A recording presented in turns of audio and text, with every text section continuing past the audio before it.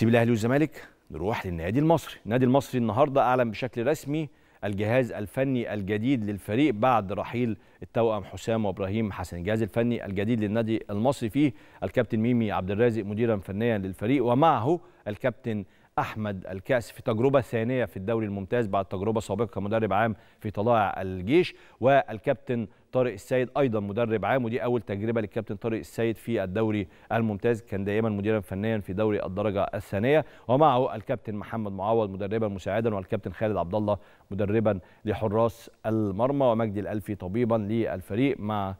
الدكتور آه، احمد جاب الله اخصائي تاهيل ومعد بدني والكابتن محمود جابر مديرا اداريا والكابتن احمد منصور اداريا ده الجهاز الفني الكامل للمصري طيب